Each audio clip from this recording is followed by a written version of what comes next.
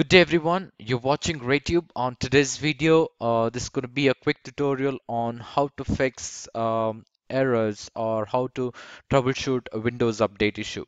Um, now let's get started without any delays. Now you might have get uh, got an error message while installing Windows Update. Now this video I'm going to show you some basic troubleshooting steps on how to fix the problem.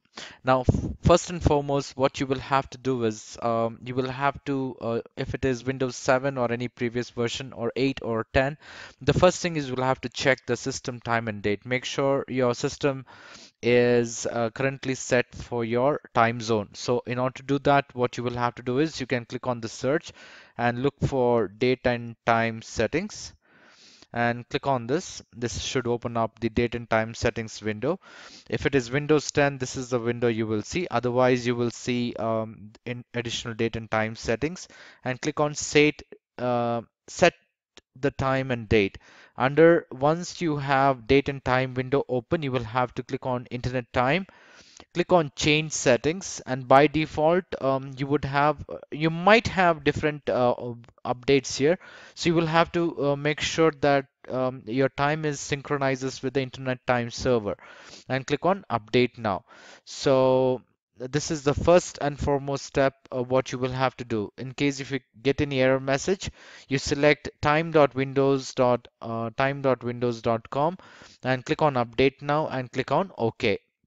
Click on apply and OK and then try installing the updates and see if that works. Now in case if this doesn't work, the next step would be, uh, let me go ahead and close this window. Uh, you will have to press Windows and R key which will open up uh, the run window in the run window you will have to go ahead and type services.msc and click on OK. So uh, once you have um, hit OK, it will open up the services window. This will give you all the list of services which are running on your computer screen. So now we have uh, the services window open on the screen. Now, like I said earlier, uh, we have all the list of services which are running on your computer screen. The first thing what you will have to do is you will have to look for um, bit services, that is background um, intelligent transfer services. Do a right click on it and click on stop. Okay, that's the first service. And the next thing would be you will have to look for Windows Update scroll down on the same um, here and look for Windows Update. Do a right click on it and click on stop. So uh, what we are doing here is we are stopping the services because we'll have to rename some of the folders here. Uh, I'm going to walk you through that. So I'm stopping the Windows Update uh, services here. Once the Windows Update services stop, there is another service which we will have to go ahead and uh, now stop it, uh, which would be the Windows installer. So um, let me let's wait until uh, the Windows Update services are stopped.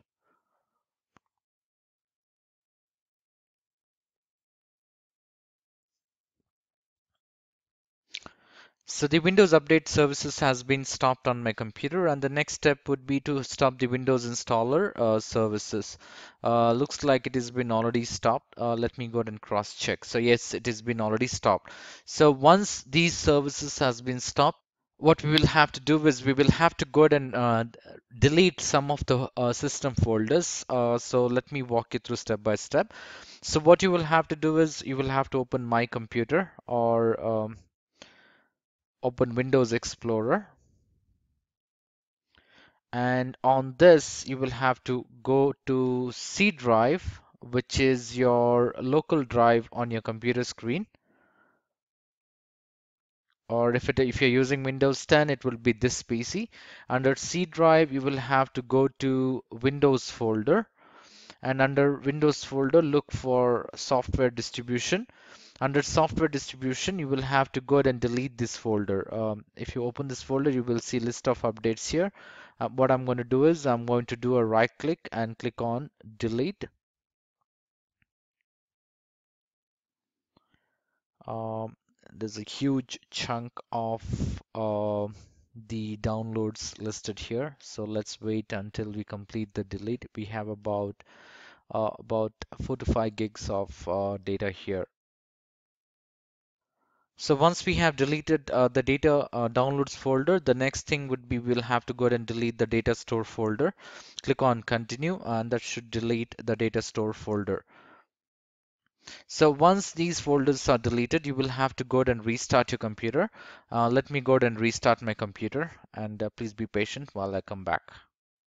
So now my computer has been restarted. So let me go ahead and um, once your computer has been restarted, what you will have to do is you will have to press Windows and R key um, on your computer screen. That will open up the run window or else you can click on the search and type services dot MSC that should uh, give you the services window. Like uh, like we did earlier uh, this will open up the services window uh, window on your computer screen. This will show up the list of services which are running on your computer screen.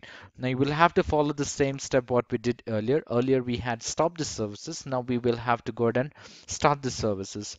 The first thing what we will have to do is we'll have to look for background intelligence services. Do a right click on it and click on start uh, once this is done, I look for Windows um, installer. Uh, in our case, Windows installer was already running, but since we restart the computer, uh, we are going to start this services and uh, then look for Windows Update. Scroll down on the same window and uh, look for Windows Update. It's right here. So let's do a right click on it and click on Properties click on automatic, click on apply, and then click on OK. So Windows uh, uh, Windows Update has been um, started. Close this window and the next step would be you will have to re-register the Windows installer. So the step would be msi exec forward slash reg server click on OK. So once you click on OK, um, this, uh, the Windows installer services uh, should be running on your computer screen. Now, once these steps are completed, the next thing would be you will you can go ahead and try to um, install the Windows Update. Look for Windows Update, and uh, this should be installing uh, all your Windows updates which are available on the computer screen. So if you look at the screen, it is saying that preparing to install updates about 37%. So this is how you can go ahead and fix Windows updates issue. In case if this uh, doesn't work, uh, what I'm going to do is I'm going to leave me a comment comment on the uh, on the uh, comment section below and let me know if these steps what I've given has been worked for you or not. In case if this doesn't work, uh, I'm going to create another video with a few more advanced troubleshooting steps which should help you to fix a problem. I hope you like this video. Uh, thank you for watching this video. You have a great day and do take care my lovely friends.